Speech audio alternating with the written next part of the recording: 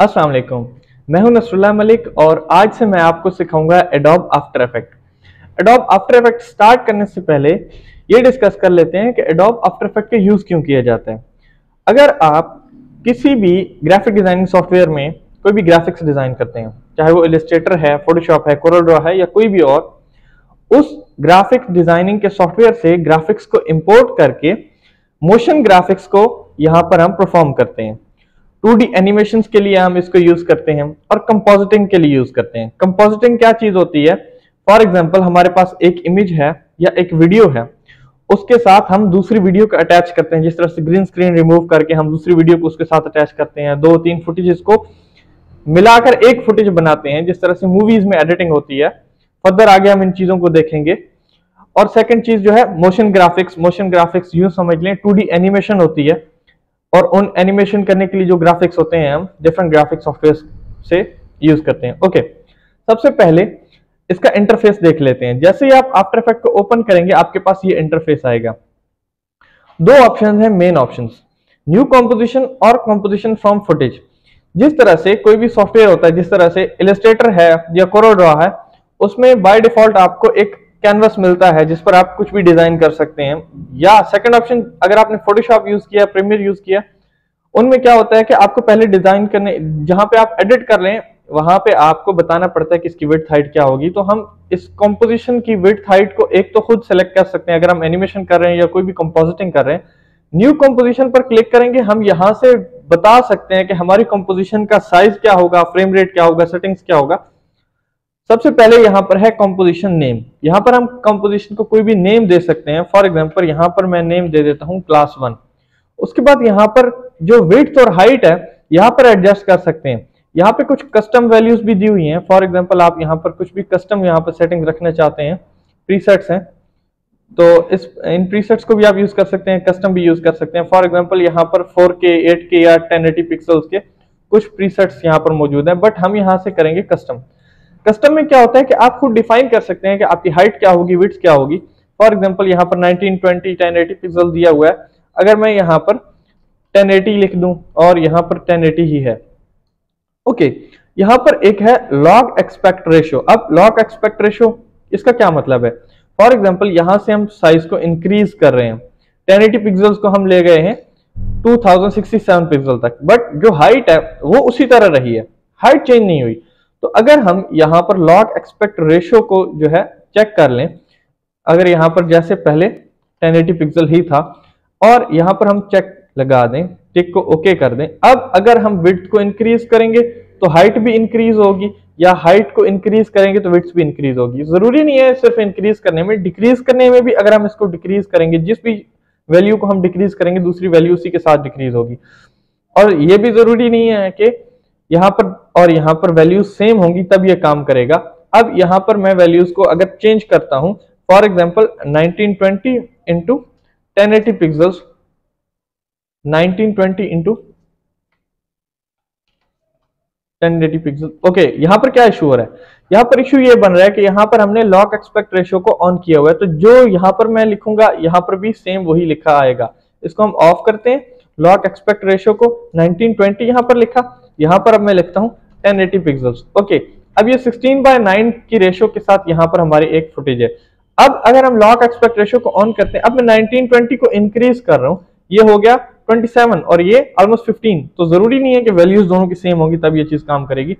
अभी के लिए हम क्या करते हैं, जो एच डी यहाँ पर रेजोल्यूशन है 1920 ट्वेंटी इंटू टेन और इसको हम ऑफ़ कर देते हैं। ओके उसके बाद पिक्सल्स को हम यहाँ पर स्क्वायर रखेंगे और ये है फ्रेम रेट अब फ्रेम रेट क्या चीज़ होती है? यहाँ पर फ्रेम रेट हम डिफरेंट फ्रेम रेट यहाँ पर सिलेक्ट कर सकते हैं। प्रीसेट्स मौजूद हैं। यहाँ पर हम टाइप करके भी लिख सकते हैं। यहाँ पर आप चाहे 500 लिख दें। बट हम रखेंगे इसको 30 फ्रेम्स पर सेकंड पे। अब फ्रेम रेट क्या होता है? इसको आगे जाके हम डिटेल में भी डिस्कस करेंगे। बट नॉर्मली मैं ये बता दूँ कि फ्रेम रेट ये होता है कि कोई भी वीडियो होती है बेसिकली वीडियो में क्या होता है कि 30 फ्रेम्स पर सेकंड पे अगर वीडियो शूट की गई है तो 30 तस्वीरें हमारी नज़र के सामने से तेज़ी से अगर गुजरेंगी तो हमें वो मूविंग ऑब्जेक्ट फील होगा। जो भी वीडियो है, वो डिफरेंट इमेजेस की कॉम्बिनेशन को हम वीडियो कहते हैं। और उसकी मूवमेंट जो है 30 फ्रेम्स अगर 30 इमेजेस एक सेकंड में मूव कर रही हैं तो वो हमें प्रोफेशनली हम ये कहते हैं कि वो 30 एफ़ है। तो वो जो है, एक वीडियो के फॉर्म में हमें नज़र आती है। उसके बाद यहाँ पर है time time start time code start time code mean कि हमारी वीडियो कहाँ से स्टार्ट होगी। यूजली ज़ीरो सेकंड से ही हम स्टार्ट करते हैं बट अगर आप आगे से करना चाहें तो भी कर सकते हैं ज़ीरो सेकंड से ना करना चाहें। ड्यूरेशन मीन्स कि हमारी जो वीडियो है, उसके लिए हम कितनी ड्यूरेशन जो है वो सिलेक्ट कर रहे हैं। एंड पे है फ्रेम्स ये ज़ीरो ज़ीरो जहाँ पर आपको नज़र आ रहा है, यहाँ पर है फ्रेम्स उसके बाद ये जो है, यहाँ पर है मिनट्स अब मिनट्स को हम सेकंड्स सेकंड्स को हम क्या करते हैं? इसको भी हम ज़ीरो ज़ीरो कर दें फॉर एग्ज़ाम्पल और ये है, यहाँ पर ज़ीरो सिक्स लिखा हुआ है, ये है मिनट्स और यहाँ पर ये एंड पे ज़ीरो लिखा हुआ है, जहाँ पे मैंने अब नाइन लिखा है, ये है आवर्स अब हमारी जो कॉम्पोजिशन है zero hours zero zero minutes और 15 सेकेंड्स एंड ज़ीरो फ्रेम्स की होगी. ये है हमारी कंपोजिशन की ड्यूरेशन 15 सेकेंड्स की हमने एक टाइमलाइन बनाई है.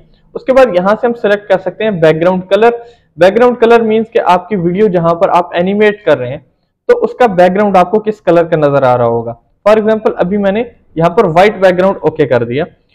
और इसको अगर आप ओके करें तो बन जाएगा। सेकंड आप यहाँ से आई ड्रॉपर टूल से डिफरेंट जहाँ पे अगर आपके पास कलर अवेलेबल है तो आप डिफरेंट कलर्स यहाँ से सेलेक्ट कर सकते हैं। जो भी कलर आप सेलेक्ट करना चाहें। यहाँ से अभी मैं इसको व्हाइट किया था तो व्हाइट रहने देते हैं। इसको ओके करते हैं। अब हमारे पास ये एक कॉम्पोजिशन बन के आ गई व्हाइट कलर की। फॉर एग्ज़ाम्पल यहाँ पे जो कॉम्पोजिशन बनी है, वो तो व्हाइट कलर की है बट आप चाहते हैं कि मुझे व्हाइट नहीं चाहिए था। और आप कुछ एनिमेशन कर भी चुके हैं। तो ये ये काम नहीं करना कि आप सारी एनिमेशन को डिलीट करें कंपोजिशन को डिलीट कर दें और फिर ज़ीरो से स्टार्ट करें ब्लैक कंपोजिशन लें और फिर सारा काम जो आपने किया था वो करें। इसके लिए आपको क्या करना है? सिंपल कंट्रोल के प्रेस करें। आपको जो भी सेटिंग्स हैं, यहाँ पर आपको मिल जाएँगी। ये सेटिंग्स कोई भी परमानेंटली चेंज नहीं होती। इसको आप बाद में भी चेंज कर सकते हैं। यहाँ से अब व्हाइट कलर को मैं चेंज कर देता हूँ सिंपल ब्लैक कलर में और ये इजीली हो जाएगा। सेकंड आप यहाँ पर कंपोजिशन और यहाँ पर कंपोजिशन सेटिंग्स में भी जा सकते हैं। कंट्रोल के प्रेस कर सकते हैं शॉर्टकट है इसकी। कंपोजिशन सेटिंग्स में भी जा सकते हैं। ओके ये है हमारी कंपोजिशन जो भी प्रीव्यू होगा वो आपको यहाँ पर शो हो रहा होगा। यहाँ पर है हमारे प्रोजेक्ट पैनल प्रोजेक्ट पैनल में हम कोई भी चीज़ इंपोर्ट करते हैं। फॉर एग्ज़ाम्पल डिफरेंट हम जो भी ऑब्जेक्ट्स हैं, जो भी इमेजेस हैं, उनको इंपोर्ट करना चाहते हैं। कुछ आइकन्स हैं फॉर एग्ज़ाम्पल उनको हम इम्पोर्ट करना चाहते हैं। हमारे पास ये कुछ इमेजेस हैं जिनका हमने इम्पोर्ट कर लिया। एंड ये कुछ वीडियोस हैं जिनको हम इम्पोर्ट करना चाह रहे हैं। और ये कुछ लोगोज हैं जिनको हम इम्पोर्ट करना चाह रहे हैं। ओके okay, करेंगे। यहाँ पर जो भी ऑब्जेक्ट्स हमने इम्पोर्ट किए हैं, अब कुछ इनमें वीडियोस हैं, कुछ इनमें लोगोज हैं, कुछ जो है, इसमें इमेजेस हैं। तो अब हम इन चीज़ों को अलग से अगर आप डिफाइन करना चाहें तो भी कर सकते हैं। फॉर एग्ज़ाम्पल यहाँ पर हम एक न्यू फोल्डर बनाते हैं। न्यू फोल्डर हम बनाते हैं वीडियोज़ के नाम से। वीडियोज़ के नाम से हमने न्यू फोल्डर बनाया और ये तीन वीडियोज़ हैं, इनको हमने इस फोल्डर के अंदर ड्रैग कर दिया। यहाँ से आप फोल्डर को ओपन भी कर सकते हैं और क्लोज भी कर सकते हैं। अब ये हमारे वीडियोस का एक फोल्डर बन गया।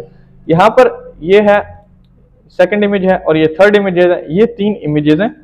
यहाँ पर मैं एक न्यू फोल्डर बनाता हूँ और यहाँ पर मैंने फोल्डर बना दिया इमेजेस के नेम से। और टॉप की थ्री इमेजेस जो हैं, उनको मैंने इसके अंदर ड्रॉप कर दिया।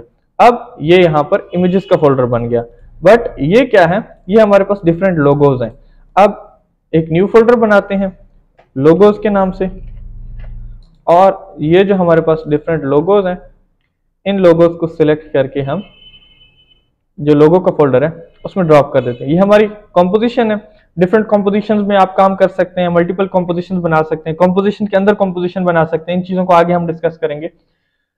ओके okay, और यहाँ पर फोल्डर्स में क्या होगा? आपकी चीज़ें जो है ऑर्गेनाइज हो जाएँगी। आपने इमेजेस यूज़ करनी है आपने लोगोज यूज़ करने हैं आपने वीडियोस यूज़ करनी है तो बहुत सी वीडियोस बहुत सी लोगोज आपके पास पड़े होंगे। तो हर चीज़ यहाँ पर ऑर्गेनाइज होगी फोल्डर के अंदर आप आसानी से उस चीज़ को फाइंड कर सकेंगे। ओके okay, ये है हमारे पास प्रोजेक्ट विंडो प्रोजेक्ट पैनल में आप क्या कर सकते हैं? डिफरेंट जो आपकी इमेजेस होंगी, जो भी आप चीज़ें यूज़ करना चाहते हैं, जो डिफरेंट एसेट्स होंगे, उनको यहाँ पर आप स्टोर करेंगे।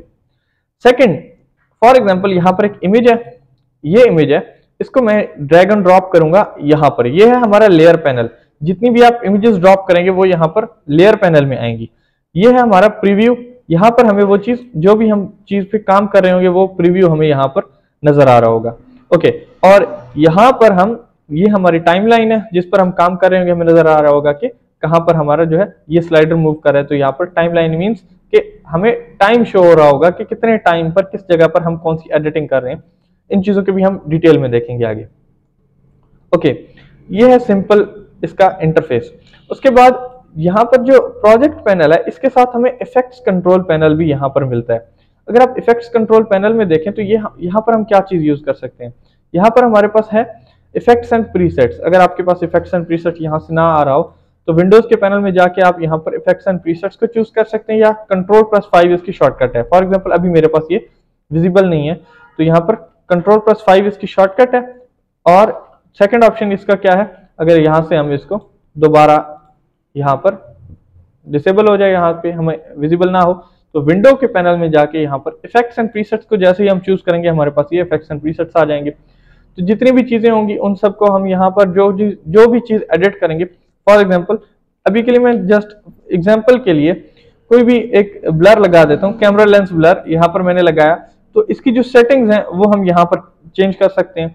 सेटिंग्स को यहाँ पर हम एडजस्ट कर सकते हैं। तो ये है इफेक्ट्स कंट्रोल पैनल जबकि ये है हमारे पास प्रोजेक्ट पैनल प्रोजेक्ट विंडो में हम देख सकते हैं हमारे जो प्रोजेक्ट्स हैं और इफेक्ट्स कंट्रोल पैनल में हम जितने भी इफेक्ट्स होंगे, हम उन इफेक्ट्स को यहाँ पर एडिट कर सकते हैं, उसकी सेटिंग्स कर सकते हैं। ओके ये थी बेसिक्स उसके बाद फॉर एग्ज़ाम्पल मैं अंडू करता हूँ, जो हमें इफ़ेक्ट लगाया था, और इस नीचे वाले लेयर को हम डिलीट कर देते हैं। इसका साइज़ हम थोड़ा सा इंक्रीज कर सकते हैं। यहाँ पर टॉप पे, और साइज़ को इंक्रीज कर देते हैं। या एक तो हमारे पास ऑप्शन है कि हम इसके साइज़ को इंक्रीज करके यहाँ पर इसके बराबर ले आए। बट इसमें क्या होगा? यहाँ से यूँ समझे क्रॉप हो रहा है हमारा ऑब्जेक्ट तो उसके लिए सेकेंड ऑप्शन क्या है? कंट्रोल के हम प्रेस करें और हमारा जो यहाँ पर 1920 इसकी विड्थ है, इस विड्थ को हम कम कर देते हैं। अब हमें नज़र आ रहा है कि जो ये विड्थ है, कम होती हुई यहाँ से साइड से श्रिंक होके जहाँ पर हमें परफेक्ट नज़र आएगा। अगर हमें रेजोल्यूशन का नहीं पता कि हमारी जो एक्चुअल रेजोल्यूशन है क्या है, या सेकंड ऑप्शन हमारे पास क्या था, हम कंपोजिशन फ्रॉम फुटेज करते जिस तरह से अगर हम एक न्यू कंपोजिशन बनाना चाहते हैं कंट्रोल एन मैंने किया, यहाँ पर तो एक न्यू कंपोजिशन बन जाएगी। या सेकंड ऑप्शन हमारे पास क्या था कि हम इस कंपोजिशन को क्लास वन की कंपोजिशन को अभी मैं डिलीट कर रहा हूँ। अगर हम यहाँ न्यू कंपोजिशन फ्रॉम फुटेज करते तो हमारे पास क्या होता? जो हमारी वीडियो है फॉर एग्ज़ाम्पल ये हमारी एक वीडियो है, इस पर मैंने डबल क्लिक किया। अब जो इसकी रेजोल्यूशन होगी, जो यहाँ पर मैं थोड़ा सा वीडियो को प्ले कर देता हूँ, ये वीडियो है हमारी। जितनी इसकी टाइमलाइन पर इसकी लेंथ होगी, उस लेंथ की जो इसकी वीडियो की विड्थ है हाइट है हर चीज़ इसके मुताबिक ऑटोमेटिकली एडजस्ट हो चुकी होगी। 1920 इंटू टेन इसकी विड्थ और हाइट है। इसका नेम है हैप्पी न्यू ईयर के नाम से हमने यहाँ पर सेव की हुई थी डाउनलोड की हुई थी। बैकग्राउंड कलर तो अभी हमें क्योंकि वीडियो है तो इसके बैकग्राउंड में हम चेंज तो कर सकते हैं। सेकंड यहाँ पर ड्यूरेशन जो है one minute three seconds and three frames की बाय डिफ़ॉल्ट यहाँ पर सेव थी। ओके तो न्यू कंपोजिशन हम वैसे बना सकते हैं, जैसे हमने पहले बनाई, और कंपोजिशन फ्रॉम फुटेज को हम यहाँ से एडजस्ट कर सकते हैं। ओके अब ये एक फुटेज है, ठीक है? अब इसको अगर हम थोड़ा सा टूल्स में देख लें तो यहाँ पर है पिक टूल पिक टूल क्या काम करता है? किसी भी ऑब्जेक्ट को यहाँ पर हम मूव करना चाहें, इसके साइज़ को एडजस्ट करना चाहें तो जो माउस का पॉइंटर है, यूँ समझे आप पिक टूल वो काम करता है जो हमारा माउस का पॉइंटर करता है। डिफरेंट टूल्स में अगर हम जाएँगे तो यहाँ पर अब हम एडजस्ट नहीं कर पाएँगे इस चीज़ को। फॉर एग्ज़ाम्पल साइज़ को एडजस्ट करना चाहते हैं तो यहाँ से साइज़ एडजस्ट नहीं होगा। साइज़ वगैरह जो है हमारे पास जस्ट पिक टूल से ही होगा। Okay okay. मैं अगेन वही न्यू कंपोजिशन और यहाँ पर आते हैं और ये जो हमारे पास वीडियोज़ हैं, अब पिक टूल से हम क्या कर सकते हैं? इन इमेजेस को हम ग्रैप कर सकते हैं। यहाँ पर मैंने जस्ट ड्रॉप किया। ओके सेकेंड टूल है हमारे पास जूम टूल जूम टूल एक तो हम यूज़ कर सकते हैं किसी भी एरिया में हम यहाँ पर, जहाँ पर क्लिक करेंगे वहाँ, यहाँ जूम इन हो रहा है। अगर हम ऑल्ट प्रेस करेंगे तो आप देखें ये प्लस का जो आइकन है वो माइनस में चेंज हो रहा है। तो यहाँ से हम अब जूम आउट कर सकते हैं। एक तो तरीका ये है। सेकंड ऑप्शन हमारे पास ये है, जहाँ हम जूम करना चाहते हैं जितने एरिया में जूम करना चाहते हैं जस्ट राइट क्लिक करके सॉरी जस्ट लेफ़्ट क्लिक करके वहाँ पर हम एक रेक्टेंगल ड्रॉ कर दें तो जितने एरिया को मैंने सिलेक्ट किया, वो हमारे पास स्क्रीन के ऊपर विजिबल हो चुका है। और एक और ऑप्शन है, अगर हम ऑल्ट को प्रेस करें, अगर हम स्क्रॉल इन करेंगे तो जूम इन होगा, और माउस से स्क्रॉल आउट करेंगे तो जूम आउट होगा। स्क्रॉल इन और स्क्रॉल आउट और ये जो हमारे पास पेन ऑप्शन है पेन ऑप्शन से हम मूव कर सकते हैं, जो हमने जूम किया था एक पार्ट से दूसरे पार्ट में। अब जो हम मूव कर रहे हैं, वो हमारी वीडियो या जो हमारी इमेज होगी, वो मूव नहीं कर रही होगी। जिस तरह से पिक टूल से हमारे पास वो इमेज या वीडियो जो भी चीज़ हमारे पास, वो मूव हो रही होती है। ये हमारे पास मूव नहीं हो रहा होगा। एक्चुअली हम एक पार्ट से दूसरे पार्ट में मूव कर रहे होंगे। यहाँ से। यूँ समझे ये एक जूम का ही छोटा सा टूल है। जूम के साथ हम इसको यूज़ करते हैं। ओके अब हमने ये जूम कर लिया। अब हम चाहते हैं कि जो हमने काम करना था जूम करके कर लिया। अब हमारे पास स्क्रीन के ऊपर 100 परसेंट एडजस्ट होना चाहिए। तो यहाँ पर प्रीसेट्स मौजूद हैं। यहाँ से भी आप जूम इन जूम आउट कर सकते हैं। डिफरेंट परसेंटेजेस मौजूद हैं। और एंड पे हम क्या कर सकते हैं? फिट अप टू 100 तो हमारे पास जो भी स्क्रीन है, उसके मुताबिक ये चीज़ फिट हो चुकी होगी। ओके नेक्स्ट यहाँ पर है कैमरा मूवमेंट्स अगर हमने कोई भी थ्री ऑब्जेक्ट यूज़ किया हो कैमरा फॉर एग्ज़ाम्पल यहाँ पर अगर हमने कैमरा यूज़ किया हुआ होगा। ओके तो ये हमने कैमरा यूज़ किया। अब ये जो कैमरा है, ये कैमरा की सेटिंग्स है। यहाँ से हम कैमरा को रोटेट कर सकते हैं। अगर हमारा कैमरा यहाँ से ऑब्जेक्ट जो है, उसको हम थ्री करते हैं, यहाँ से हम इसको रोटेट कर सकते हैं। इन, ये थ्री डी थ्री लाइट्स और थ्री कैमराज इसको हम बिल्कुल एंड पे डिस्कस करेंगे। आप देख सकते हैं पहले यहाँ पर आप कुछ इनकी बेसिक्स देख लें। उसके बाद जो थ्री में हम इसको पिक कर सकते हैं पिक करके। अगर आप टॉप पे ले जाना चाहें एक्स एक्सेस वाई एक्सेस और जेड एक्सेस पे मूव करना चाहें, ये एक्चुअल में मूव हो रहा होगा। ये हमारा ऑब्जेक्ट मूव हो रहा है। ये ऑब्जेक्ट मूव नहीं हो रहा होगा। ऑब्जेक्ट जो है रोटेट हो रहा होगा, जो हमारा एंकर पॉइंट है, उसके गिर्द एंकर पॉइंट क्या होता है, ये चीज़ें क्या होती हैं, ये इंशाल्लाह नेक्स्ट हम डिस्कस करेंगे। ओके थर्ड टूल है, इससे हम थ्री में इसको बैक पे भेज सकते हैं। ये जूम नहीं हो रहा। जूम इन या जूम आउट नहीं हो रहा। ये एक्चुअल में इसकी पोजीशन जो है वो चेंज हो रही है। इमेज हमारे से दूर जा रही है वीडियो जो है हम, हमारे से दूर जा रही है करीब आ रही है। जूम में क्या होता है? हम एक्चुअल इमेज को इस तरह से जूम इन जूम आउट कर रहे होते हैं कॉम्पोजिशन को जूम इन या जूम आउट कर रहे हैं। ये हमारी जो वीडियो है इसको हम जेड एक्सिस पे मूव कर रहे हैं। डिफरेंट uh, कैमराज में अगर हम देखें uh, ये है हमारे पास इसका टॉप व्यू तो अगर आप देखें हम कैमरा को करीब या दूर लेकर जा रहे हैं यहाँ पर। तो जैसे ही कैमरा करीब आता है तो हमारे पास इमेज नज़दीक नज़र आती है, कैमरा दूर जाता है तो हमें दूर से नज़र आती है। थ्री कैमरा को हम, थ्री कैमरा और इसके एनिमेशन को आगे हम इसको डिटेल में डिस्कस करेंगे। ओके, अभी हम इसको, जो हमारा एक्टिव कैमरा व्यू है, उसमें लेके आते हैं। नेक्स्ट हमारे पास यहाँ पर है रोटेट टूल। रोटेट टूल से हम क्या कर सकते हैं, किसी भी एंगल में थ्री ऑब्जेक्ट को हम रोटेट कर सकते हैं। एक एक पोजीशन को अगर हम रोटेट करना चाहें तो यहाँ पर ट्रांसफॉर्मेशन प्रॉपर्टीज़ है हमारे पास यहाँ पर। इसको एक्स एक्सेस में हम रोटेट करना चाहें वाई एक्सेस में अगर हम करना चाहें जेड एक्सेस में अगर हम करना चाहें एक एक प्रॉपर्टी को हम यूज़ कर सकते हैं यहाँ पर। बट अगर रेंडमली इसको आप चेंज करना चाहें तो ये रोटेट टूल से आप इसको चेंज कर सकते हैं। Okay okay. ये है हमारे पास थ्री और इस चीज़ों को डिटेल में डिस्कस करेंगे डेफिनेटली थ्री इमेजेस और थ्री कैमराज ये है कैमरा के टूल्स और ये है थ्री मूवमेंट के टूल नेक्स्ट है हमारे पे यहाँ पैन बिहाइंड अब इससे हम क्या कर सकते हैं? जैसे कि हमने पहले कहा था जो भी इमेज है इसका एक एंकर पॉइंट होता है। अब यहाँ से हम इसके एंकर पॉइंट को शिफ्ट कर सकते हैं। इस एंकर पॉइंट को हम शिफ्ट करने से हमें क्या फ़ायदा होगा? जस्ट uh, मैं बेसिक सा आपको बता देता हूँ। यहाँ पर अगर आप ये देखें और रोटेशन में इसका जो है हमें ज़्यादा इफ़ेक्ट नज़र आएगा। अब रोटेट कर रहे हैं अपने एंकर पॉइंट के गिर्द या एंकर पॉइंट अगर सेंटर में होता बिल्कुल सेंटर में होता तो ये अपने सेंटर के गिर्द रोटेट करता।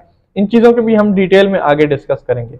ओके उसके बाद नेक्स्ट है हमारे पास शेप्स अब ये जो शेप्स हैं फॉर एग्जांपल इसका शॉर्टकट है क्यू और शिफ्ट क्यू से हम शेप्स को चेंज कर सकते हैं। यहाँ पर शेप्स आपको नज़र आ रही हैं। ये है सर्कल पॉलीगॉन स्टार रेक्टेंगल अगर हम इन शेप्स को कोई भी लेयर सिलेक्टेड ना हो और उसके साथ अगर हम ड्रॉ करते हैं तो हमारे पास ये एक शेप ड्रॉ होगी।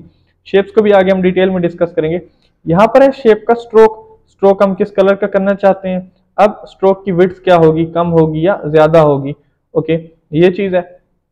उसके बाद फिल मीन्स कि इसका जो अंदर कलर होगा, वो कौन सा होगा? ओके अगर आप इसको ओके करते हैं तो ये फिल कलर ये हो जाएगा। नेक्स्ट अगर आप इस लेयर को सिलेक्ट करके बनाएँगे, जैसे सिलेक्ट किए बगैर हमने बनाया तो ये शेप लेयर वन बनी। सिलेक्ट करके बनाएँगे तो ये हमारे पास एक मास्क बनेगा उसी शेप का। मास्क क्या होता है? मास्किंग इफेक्ट्स क्या होते हैं? मास्किंग एनिमेशन क्या होती है? इन चीज़ों के भी हम आगे डिस्कस करेंगे। ओके ये है हमारे पास डिफरेंट शेप लेयर्स और अगर आप शेप लेयर्स को मजीद देखना चाहें, ये रेक्टेंगल जो है राउंड रेक्टेंगल है। उसके बाद हमारे पास ये सर्कल है। सर्कल को अगर आप ऐसे ही ड्रॉ करेंगे तो ये एलिप्स की तरह ड्रॉ होगा। अगर आप शिफ्ट प्रेस करके ड्रॉ करेंगे तो बिल्कुल परफेक्ट रेडियस के साथ हमारे पास सर्कल ड्रॉ होगा। वैसे नेम इसका एलिप्स है। टूल का नेम जो है, वो एलिप्स है बट अगर आप सर्कल यूज़ करना चाहते हैं तो शिफ्ट प्रेस करके यूज़ कर सकते हैं। नेक्स्ट हमारे पास पोलीगॉन है। यहाँ से हम पोलीगॉन ड्रॉ कर सकते हैं। अब इस पोलीगॉन का जो है पोलीगॉन की सेटिंग्स में पोलीगॉन की साइड्स को हम जो है, वो इंक्रीज कर सकते हैं। और इसकी विड्स स्ट्रोक्स वगैरह हम यहाँ से भी इंक्रीज कर सकते हैं। इसके फिल को हम यहाँ से भी डिक्रीज या इंक्रीज कर सकते हैं। स्ट्रोक्स सारी सेटिंग्स इन चीज़ों को हम शेप में आगे जाके डिस्कस करेंगे। नेक्स्ट है हमारे पास, यहाँ पे स्टार है।